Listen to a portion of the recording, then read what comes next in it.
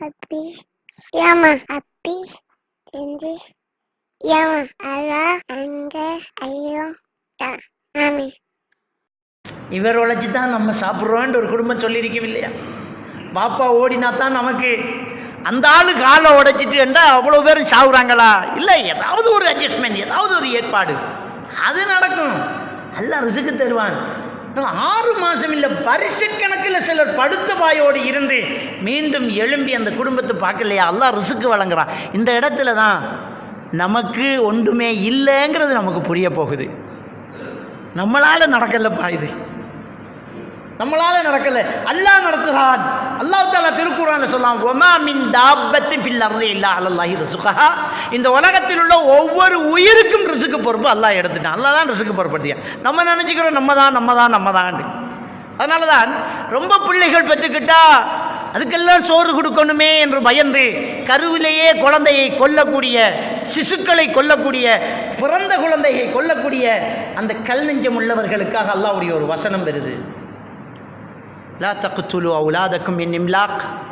வறுமையை பயந்து உங்களுடைய குழந்தைகளை கொல்லாதீர்கள். நஹனு நர்சுக்கும் ஒய்யா. உங்களுக்கும் அவர்களுக்கும் ரிசுக்கு நாங்கள் தான் தரோம். உங்கள் கையில் எடுத்துக்கிட்டு நீங்கள் சாவடிச்சிடாதீங்க. வறுமையை பயந்து உங்கள் குழந்தையை கொல்லாதீர்கள். உங்களுக்கும் அதுக்கு நான் தான் சாப்பாடு தரேங்கிறான் அல்லா மூணு பிள்ளை நாலு பிள்ளை உழைக்கிறது பத்தல்ல இதுக்குள்ள இன்னொரு பிள்ளை என்று நாம் யோசிக்கிறோமே நம்மக்கிட்டே ரிசுக்கு பொறுப்பு இருக்குது? அதுக்கும் சேர்த்து எல்லாம் நமக்கு ரிசுக்கு தருவான். இன்னும் சொல்ல போனால் அதுக்கு மேலே நமக்கு இன்னும் வருமானம் கொட்டும். அன்புக்குரியவர்களே ரிசுக்கு பொறுப்பு அல்லாஹ் எடுத்திருக்கிறான். அல்லாஹ் உள்ள தவக்கல் வச்சு இபாதத்தில் நாம் கூடுதலாக ஈடுபடுவோம். அதனால் உழைக்கையும் போகாமல் தொழிலுக்கும் போகாமல் அப்படியே பேக்கை தூக்கிட்டு ஒக்து ஒக்துன்னு கிளம்ப சொல்லி இஸ்லாம் சொல்லவே இல்லை. அப்படி போக சொல்லலை. துறவரத்தை இஸ்லாம் அனுமதிக்கலை. துறவரம் போகிறத சொல்லலை. நபிகள் நான் சல்லல்லா சொல்லம் அவர்கள் சொன்னார்கள் அல் எதுல் உல்யா ஹைரும் மின் எதி சுஃப்லா. கொடுக்கும் கை வாங்கும் கையை விட சிறந்த கை தான் ஒருத்தர் ஒரு கோடாரியை தூக்கி தோலை வச்சுட்டு ஒரு காட்டுக்கு சென்று விறகு வெட்டி அந்த விறகை விற்று சம்பாதித்து ஒரு ரூபாய் லாபம் எடுப்பது சிறந்தது. அவன் யாசிப்பதை விட சல்லல்லா அலுவலம் சொன்னார்கள் யாசிக்க வேண்டாம் பிச்சை எடுக்க வேண்டாம். பிச்சை எடுப்பவர்கள் யாசிப்பவர்கள் அ- நரகத்தின் நெருப்பையே கேட்குகிறார்கள் என்றார்கள். சகாபாக்கள் கேட்டார்கள் கொடுக்காமல் விடட்டுமா? என்று. கேட்டால் கொடுங்கள் குதிரையில் வந்தாலும் கொடுங்கள். ஆனால் கேட்பது தவறு என்றார்கள் கேட்பது தவறு. யாசிக்கு இட உடம்பிலே நல்ல பலம் உள்ளவர்கள் திடகாத்திரமானவர்கள் எல்லாம் இன்னைக்கு யாசிப்பதையே ஒரு தொழிலாக போய்விட்டார். ஜும்மா முடிஞ்சு வெளியில் போக முடியலை.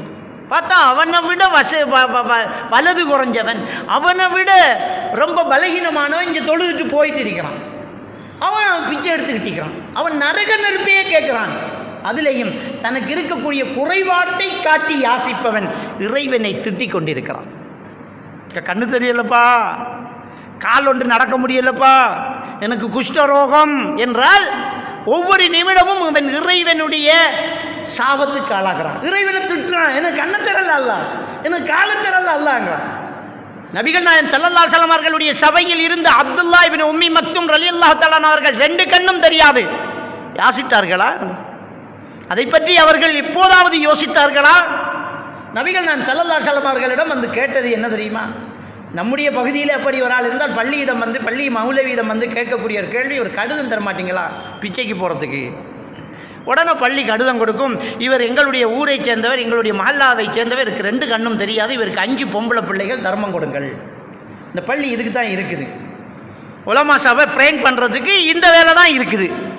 சல்லல்லா செல்லம் அவர்களிடம் அந்த நபித்தோழர் வந்து கேட்டார்கள் யாரை சொல்லலாம் எனக்கு ரெண்டு கண்ணும் தெரியாது.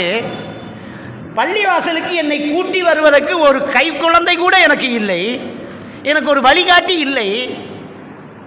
வீட்டிலேயே தொழுதுக்கிடட்டான்னு கேட்டாங்க. பிச்சை கேட்டு வரல. அனுமதி எதுக்கு கேட்குறாங்க கண்ணு தெரியாத முட்டிடுவேன் விழுந்துருவேன் கூட்டிகிட்டு வர்றதுக்கு யாரும் இல்லை வீட்டில் தொழுதுட்டுமா அப்படின்னா நபிகள் நாயகம் ஸல்லல்லாஹு செல்லம் அவர்கள் என்ன சொன்னார்கள்? சரி போங்கன்னு போக விட்டுட்டு கூப்பிட்றாங்க யா அப்துல்லா. கூப்பிட்டாங்க. யார சொல்லல? அழைச்சிங்களா? ஆமாம் வாங்க. பள்ளியில் சொல்கிற பாங்கு வீட்டில் கேட்குதான்னு கேட்டாங்க.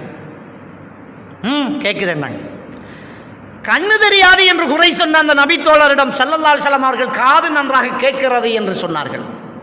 எவ்வளவு அழகாக சொன்னார்கள். போக விட்டு கூப்பிட்டு திருப்பி எடுத்து பள்ளியில் சொல்கிறப்பாங்க வீட்டில் கேட்குறாங்க ஸ்பீக்கர் இல்லை சும்மா சொல்கிறப்பாங்க ஸ்பீக்கர் எல்லாம் கிடையாது. சும்மா பள்ளியில் உயரத்தில் நின்று பாங்கு சொல்லுவாங்க பிலால் அலி அல்லாஹ் தலான் அவங்க. இந்த பாங்கு சத்தம் உங்க வீட்டுக்கு கேக்குதா? ஆமா கேக்குது. உடனே சொல்றாங்க காது நல்லா கேக்குது வாங்க பள்ளிக்கு அப்படின்னுட்டாங்க. இல்லை என்று சொன்னவருக்கு இருப்பதை துடைத்து காட்டுறாங்க. கண்ணு தெரியான்னு சொன்னவருக்கு காது நல்லா கேட்குதுப்பா கூட்டிட்டு வர்றதுக்கு ஆள் இல்லையேன்னு ரெண்டாவது சொன்னாங்க. ஆயுது இல்லை எனக்கு ஒரு ஆள் இல்லை. சல்லல்லா சலாம் சொன்னால் சொன்னா எதுக்கு ஆள்?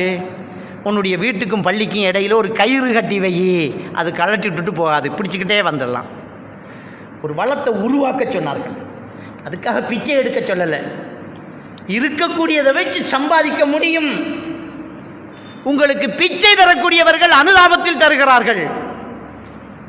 அதே அனுதாபத்தில் நீங்கள் தொழில் தேடி போனால் உங்களுக்கு மேலதிகமான சம்பளம் போட்டு உங்களுக்கு தொழில் தர காத்திருக்கிறார்கள். கௌரவமாக உழைக்க முடியும். சம்பாதிக்கிறது. ஹலாலாகும். இருப்பதை வைத்து நான் பார்த்துக்கிறேன். ஒரு கை இருக்கு அதை வச்சு நான் இதை செஞ்சு தந்துக்கிறேன். பக்கெட் பண்ணி தாரேன். உன் கடையை தூத்து விடுறேன். யாராவது வந்தால் உங்களுக்கு சத்தம் கொடுக்கறதுக்காக அதை நீங்கள் வைங்க. ஒரு கேட் கீப்பராக வேலை செய்ய முடியாதா? எத்தனை பெண்கள் இன்றைக்கு பிள்ளைகளை வச்சுக்கிட்டு யாசகம் செய்கிறார்கள்? ஏன் உனக்கு அப்பஞ்சுட்டு வியாபாரம் பண்ண தெரியாதா? அதுக்கு வேணும் இந்த கேள்வி உனக்கு தேவையான தளவாரங்களை வேண்டி தாரோம். ஒரு பெண் யாசகம் கட்டு வார ஒரு பெண்ணிட்ட மதுரசாவில் சமைக்கிறதுக்கு பெண்கள் மதுரசாவில் சமைக்கிறதுக்கு ஒரு ஆள் தேவைம்மா மாதம் முப்பதினாயிரம் ரூபா சம்பளமும் ரெண்டு நாள் லீவும் தாரம் வர்றையான்னு கேட்டேன். அந்த பொண்ணு ஒரு அஞ்சு நிமிஷம் யோசிச்சுட்டு கட்டாது. அதை விட நான் பிச்சையில் அதிகமாக சம்பாதிக்கணும்னு போயிட்டே இருக்கிறான். இது இன்றைக்கு இருக்கக்கூடிய சூழ்நிலை. ஆக அல்லாவுடைய அருளை நிராகரிக்கக்கூடியவர்கள் இன்னைக்கு அப்படி இருக்கிறாங்க. அல்லாவுடைய ரிசுக்கு எழுதப்பட்டிருக்குது கிடைக்கும் என்ற நம்பிக்கை நமக்கு இருந்தால் விவாதத்தில் ஈடுபடலாம் அபுஹுரேரார் அலி அல்லாஹாலான் அவர்கள் அல்லாவுடைய தூதரோடு கூடவே இருப்பார்கள். நண்பர்கிட்ட சொல்லுவாங்க நீங்கள் இன்னைக்கு தொழிலுக்கு போங்க குடும்பத்துக்காக உழைங்க. நான் அல்லாவுடைய தூதர்கிட்ட இருந்துக்கிட்டு எல்லாத்தையும் கற்றுக்கிறேன் அவர் நைட்டு திரும்பி வந்து என்னப்பா என்ன நடந்துச்சு? பகல் என்ன வகை வந்துச்சு? ரசுல்லா என்னெல்லாம் சொன்னாங்கன்னா அவ்வளோ சொல்லிக் கொடுப்பாரு. சொல்லி கொடுத்துட்டு அடுத்த நாள் நீங்கள் இருங்க நம்பிக்கிட்ட நான் போகிறோம் தொழிலுக்குன்னு போவார். புகாரியில் வரக்கூடிய ஹதீஸ். ஒரு நாளைக்கு நீங்கள் ஒரு நாளைக்கு நான். தொழிலும் செய்யணும் மார்க்கத்தையும் கற்றுக்கொள்ளணும். தொழில் செய்யாமல் துறவிகளாக ஒதுங்குவது அல்லாஹ் பார்த்துக்குவான் என்று போகிறது இஸ்லாம் சொன்ன விஷயம் அல்ல அப்படி போக வந்த ரெண்டு- நபி நபித்தோழரை கூப்பிட்டு ரசூல்லா சொன்னாங்க நான் யூத கிறிஸ்தவ மதத்தை பரப்புகிறல்லப்பா நான் மத பரப்ப பரப்ப வந்தது இஸ்லாமிய மார்க்கத்தை. நீங்கள் குடும்பத்துக்காக உழைச்சி குடும்பத்துக்காக செலவு செய்து குடும்பத்தோடு இருப்பது நன்மை தருமென்றாங்க.